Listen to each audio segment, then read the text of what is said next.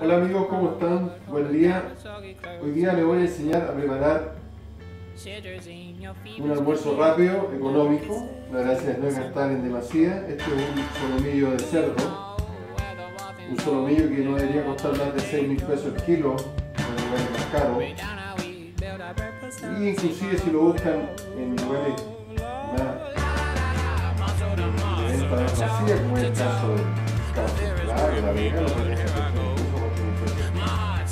es un producto muy magro, muy suave, muy blando, que tiene muy buen sentir al comerlo, porque como decía, es blando, tiene buen, sabor, es importante sacarle toda la, grasita que pudiese tener, evidentemente muy poca, pero si vamos a utilizar un corte de esta característica, lo ideal es usar, dejarlo muy limpio, un corte de muy buena calidad, con esta carne ustedes nunca quedan mal, el, el, comenzar siempre eh, queda satisfecho y contento con lo que se prepara. Vamos a ir dejando aquí en el pasante la carne que estamos limpiando. La vamos a preparar eh, muy sencilla, la vamos a hacer a la plancha. La idea es que un producto que rápido, un almuerzo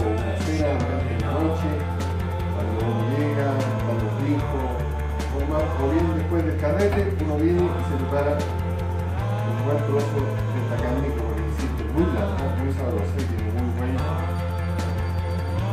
muy buena sensación,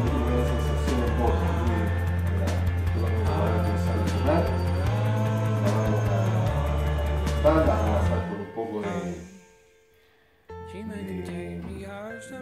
harina para crocancia un poco al freírla. Estamos, como les digo, sacando toda la grasa. Esto es más o menos 800, 900 gramos.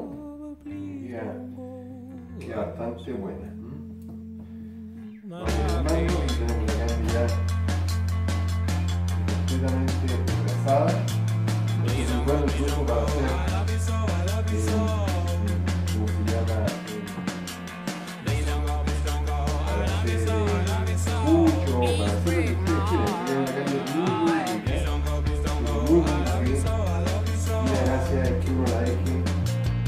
a punto. ¿Qué significa esto? Que no quiere echar nada de choricía, sino que puede quedar dura porque es cerdo, pero podemos ponerla jugosa, la diferencia del lomo del cerdo, que es muy bueno, pero tiene esa característica.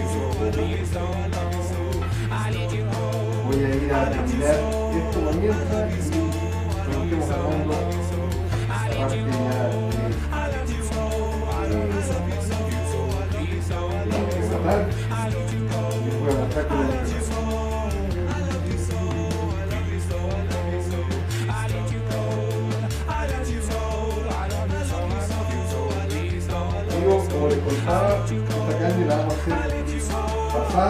harina. En este caso vamos a usar harina tostada, que le da un poquito de mejor calidad.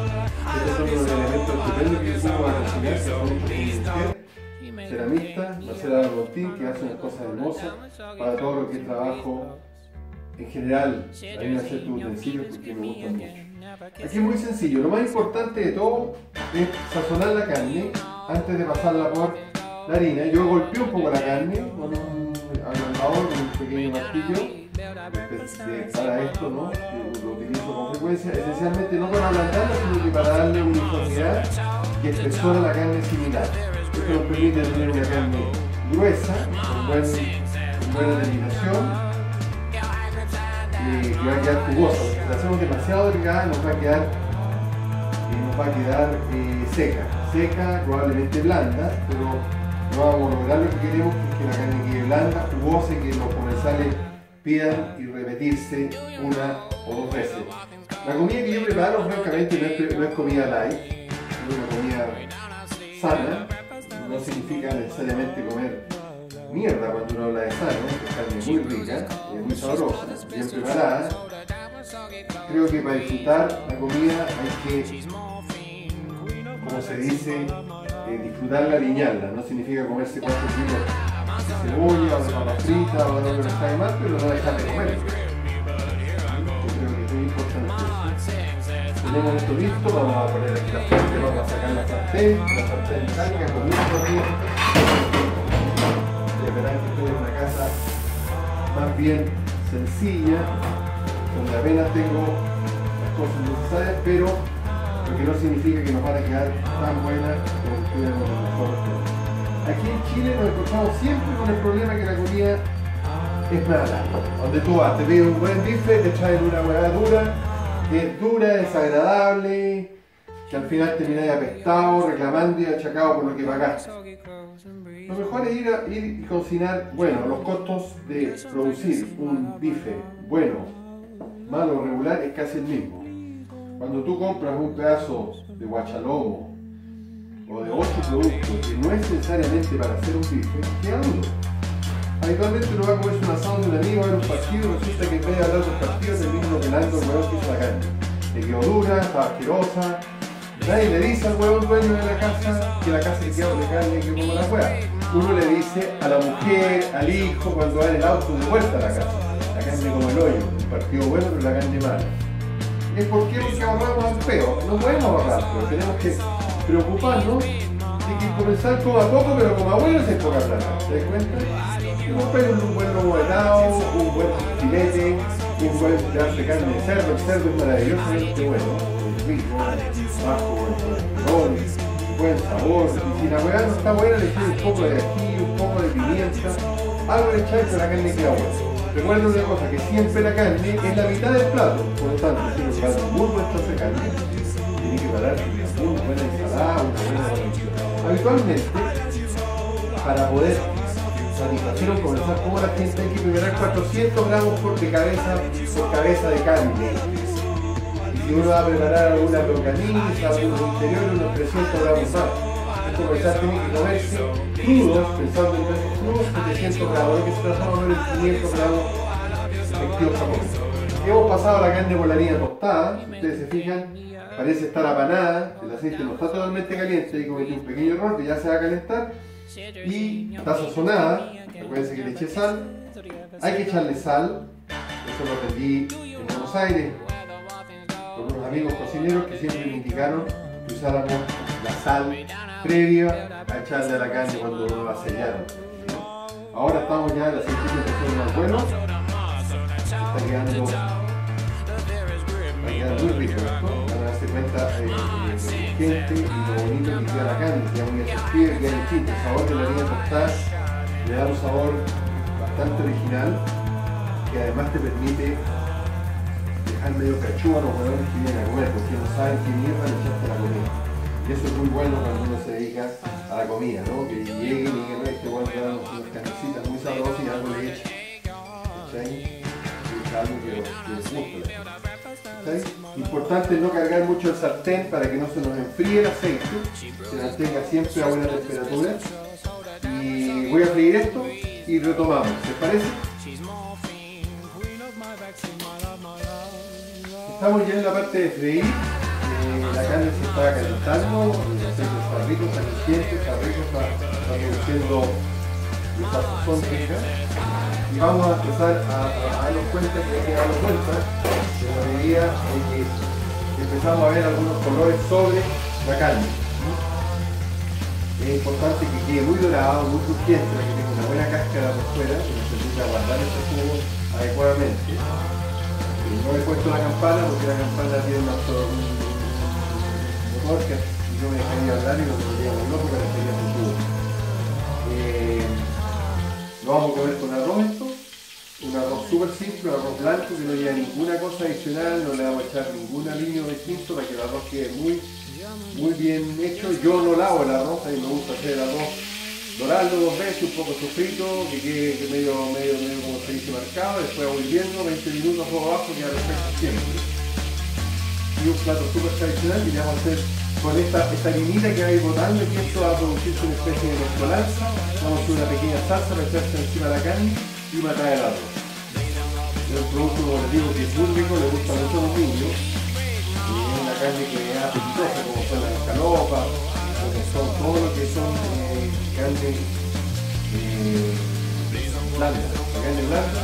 A todo el mundo le gusta. Tú puedes invitar al, más, más complicados y un pedazo de carne blanda lo deja contento, satisfecho, lo reclama y pega. ¿No hay cuestión de las cosas? La gente es muy buena, mira, es que quedando como va quedando, muy siempre, y el color que le da esa rosada, es formidable. Hay que apurar la comida, hay que mantenerla con Después ponemos una toalla nueva un papel absorbente para poder sacarle toda la, el exceso de aceite, pero siempre recuerden que si el aceite está muy caliente, no se filtra ni se satura la comida con aceite. Si le da empanadas, por ejemplo, no puede meter la fría porque la hueá queda con poca, tiene que quedar sellada, apretada. Esto perfectamente que permite el aceite bloquear el ingreso adentro, que se selle y se produzca una cáscara. Voy a terminar de hacer eso, me quedan unas presas para no latearlos con historias de repente no son importantes y no pero. Estamos aquí casi sacando esto del, del fuego. La gracia es mantener esto, que digan que quede crujiente. Lo que vamos a hacer ahora es volver a meter todas las presas aquí adentro vamos a echar un exquisito y lo tiramos con seca con todo para volver a echar todo este que y ahora le vamos a echar una copita de cerveza para desglasar necesita esto es custeño parece que fuera peruana esta hueá pero es rica eh, el simple de abril ¿eh? bueno, de abril le vamos a echar un poquito para desglasar esto le da una sustancia y un saludo por ustedes y por el programa. No sé qué nombre ponerle. De repente podríamos ponerle hueveando en la cocina, ¿les parece?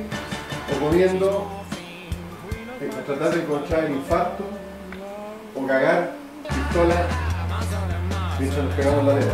Vamos a ver aquí, vamos a ver pilotos que están haciendo para mí. Salud. Un abrazo.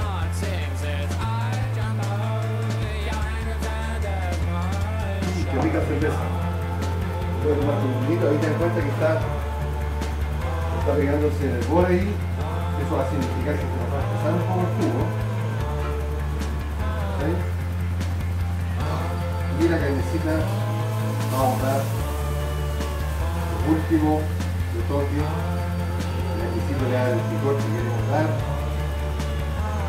Por mientras voy a poner el microondas un poco de arroz que tiene hecho hace dos meses. Yo lo tengo ahí envasadito, dos meses guardado, debe tener olor a raja, pero debe estar rico. Estamos preparando la masticari, vamos a hacer un tomatito. Vamos a poner un poquito de ensalada, y quiero la hemos acaso.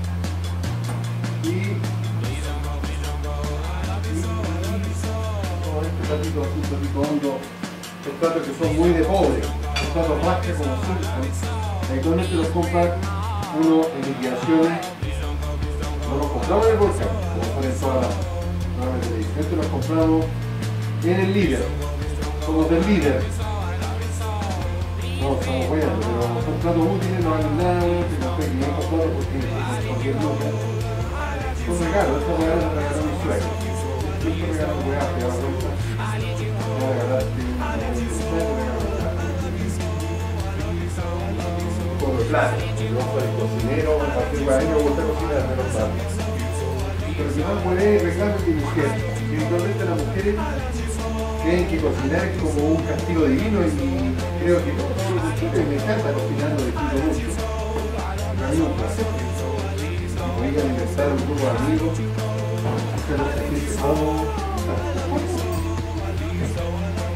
hacerlo sentirse cómodo. ¿Cómo que gusta que me parece?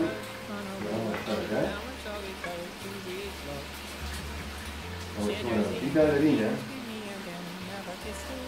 La harina estaría funcionando igual que la otra. Se cose y se engrosa.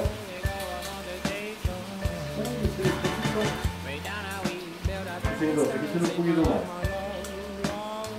De que ya está muy en moda estamos arrogantes en Chile, ¿no? esta cuestión la comía, bueno, ya no fue una mapuche. Y venía como ser mapuche está de moda, otros procesos han sido muy maltratados y le hemos dado alguna medida eh, carácter que se ha merecido siempre, estos productos son muy ricos. Tenía comprarse la comida de ellos antes, ahora la comemos nosotros. Y es un producto gourmet, que lo encontráis en juega, en algunas tiendas de altísimo, altísimo costo. Voy a, voy a, voy a presentar el plato. Voy a presentar un plato muy sencillo.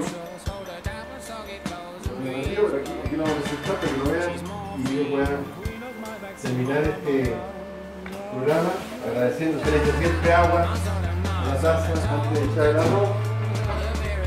Que la no se heavy. Y lo brilloso, que vayan sacando. Se carga con arroz. Un arrocito blanco, por en serio, está muy, muy bien cocido, bien marcado.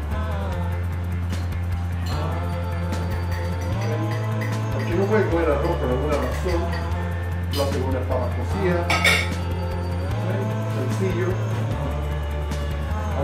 Trozos encachados que tengan buena pinta, mira, uno, dos, como yo soy el dueño de la carnicería, no voy a comer el tercero, nada bueno. Y le vamos a echar esta salsita, que me acabo de quemar la mano porque la voy a estar viendo, como a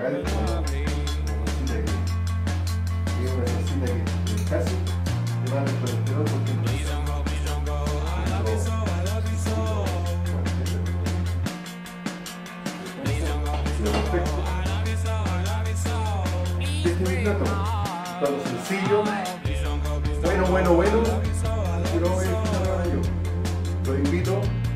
juntemos una próxima oportunidad en este canal que voy a empezar a hacer funcionar y una prueba. Un abrazo, los quiero mucho. Paulo Menezes.